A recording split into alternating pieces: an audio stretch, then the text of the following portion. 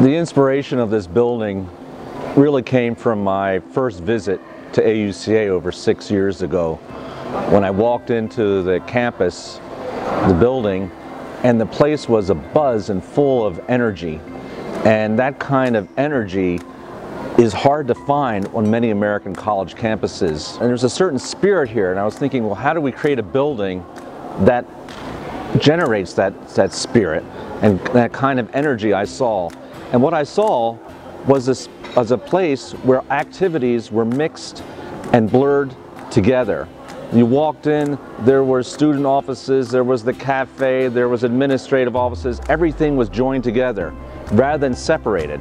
So when we made this new building, the idea was to actually take the best part that AUCA already had in its existing facility and repurpose it into a larger facility, but make it even better. And so the room that we're in right now, this big space, the idea was in the old building, there was no place for the whole community to see each other. And so one of the ideas that the president then asked is like, how do we create a place where everyone can see and be part and feel like they're part of a larger community? So the idea was to create big spaces where people could come together and small spaces where people could work quietly.